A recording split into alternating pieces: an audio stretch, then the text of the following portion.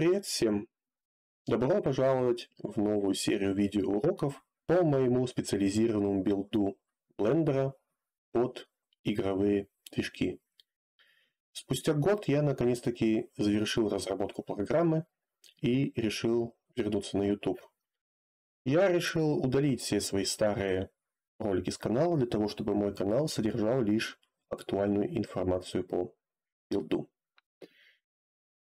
Начну со слов, почему я вообще начал заниматься починкой блендера.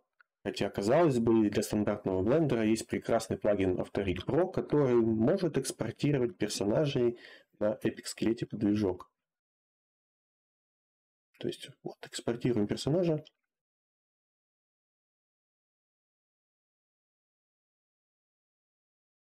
Персонаж экспортирован. В блендере работает все норм ну, визуально. Но если я сейчас закину модельку в движок,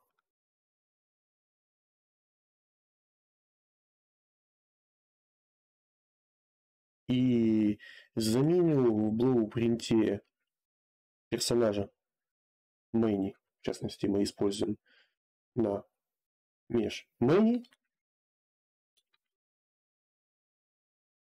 Но видите, пропорции персонажа исказились. Хотя такого быть не должно. Персонаж-то ведь один и тот же. Почему у него ломается меж? Веса в блендере вроде в порядке, как бы все ок.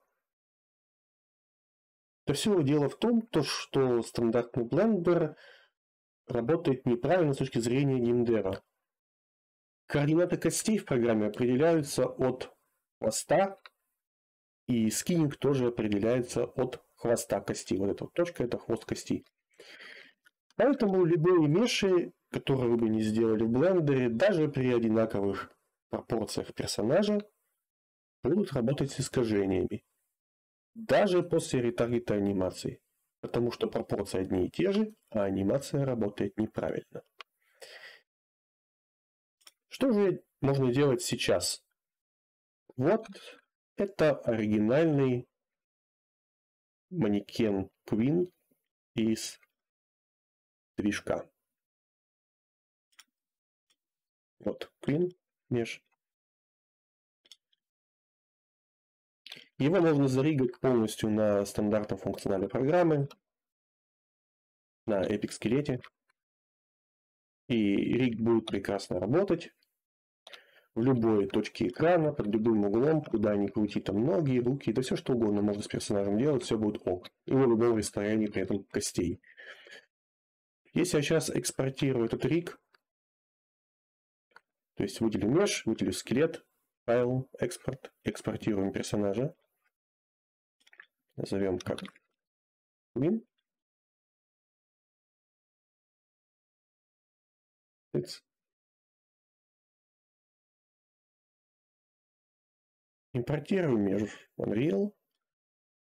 Выбираем Epic скелет из Mannequin в импорте.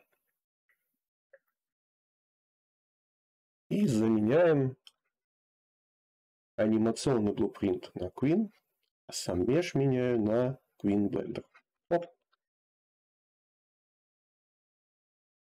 Готово. Меж не искажается. Потому что манекен использует оригинальный скелет. И в том числе, если вы у персонажа отредактируете пропорции, то есть я вот уже поэкспериментировал с пропорциями, да, то анимация не будет искажаться. То есть можем взять, например, сделать руки-базуки, скелить голову, там, ушку, да, все что угодно вообще, только путь. Применяем модификатор Armature, применяем к модели позу как распозу. И заново кидываем модификатор Armature, то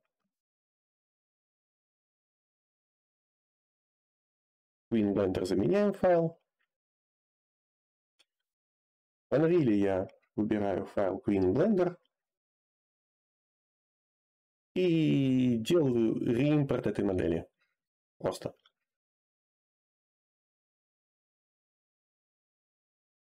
Вот манекен. Play. Работает. Персонажи теперь могут быть э, любых размеров, любых пропорций, маленькими, большими, да неважно какими. Теперь это для блендера абсолютно неважно, если вы работаете с оригинальным Apex скелетом. Потому что программа теперь умеет очень точно сохранять пропорции и координаты костей ваших персонажей.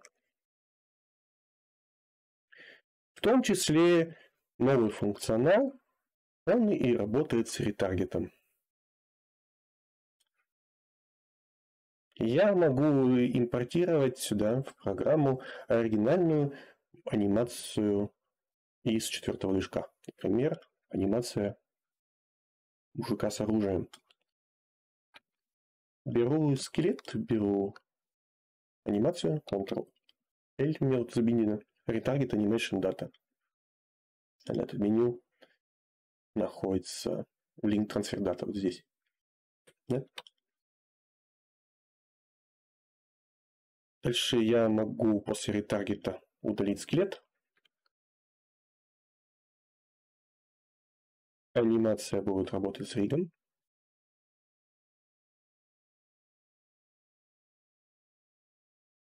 Вот.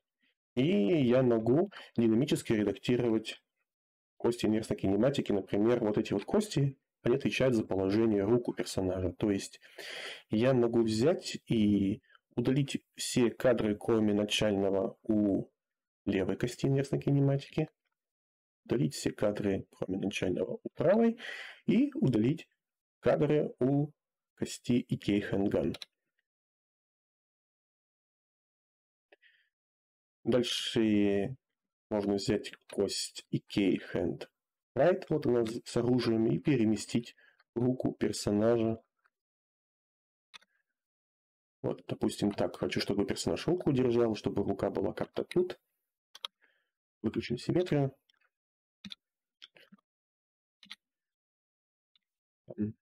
Вот. То есть вот у меня оружие, конус у меня отображает оружие, это кости кей. Так, меша пока здесь нет просто. Дальше я вешаю ключевой кадр на Location Rotation Scale для этой кости, для этой кости и для вот этой кости. Проигрываем анимацию, все работает. И я могу теперь эту анимацию экспортировать в движок. Просто выделяем mesh, точнее скелет.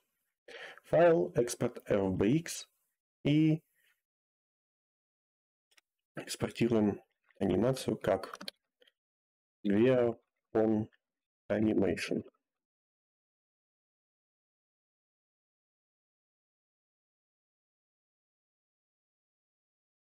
Я могу дальше загрузить сюда файл via Animation. Он пишет то, что no mesh is found to animation track, потому что я забыл поставить галочку при экспорте. Мне нужно поставить галочку при экспорте Bake Animation, потому что мне нужно запить констрейны ключевые кадры. Так, импортируем Unreal. При импорте ставим SK манекен скелет. Получаем анимацию Queen с бегом, при этом эта анимация уже из четвертого движка. Вот. И при желании вы можете заменить существующую анимацию. Вот это, например, анимация бега у Queen от MF ранов ВД на свою. Вот мы ее заменили. Теперь при движении даже вот на этом персонаже вот с такими пропорциями анимация бега будет работать. Дальше я могу заменить персонажа на, на стандартный манекен. И все, будет работать. Вот. Никаких там блупринтов, заумных штук и прочего всего. Просто две кнопки нажали и все работает. Вот. Также мой блендер можно использовать не только для Epic скелета. Но и для любых других скелетов, основанных на Epic скелете. Например, вот я на Blender заригал персонажа в стилистике handpaint.